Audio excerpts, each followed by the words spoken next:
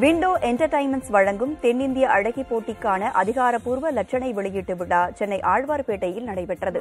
இதில் சிறப்பு விருந்தினராக இயக்குநர் எல். ஏ. விஜயும் நடிகை அக்ஷரா கவுடா விண்டோ என்டர்டைன்மெண்டின் நிர்வாக இயக்குநர் ஷரண் மற்றும் மிஸ்டர் இந்தியா பட்டம் வென்ற கோபிநாத் ரவி ஆகியோர் கலந்து கொண்டனர்.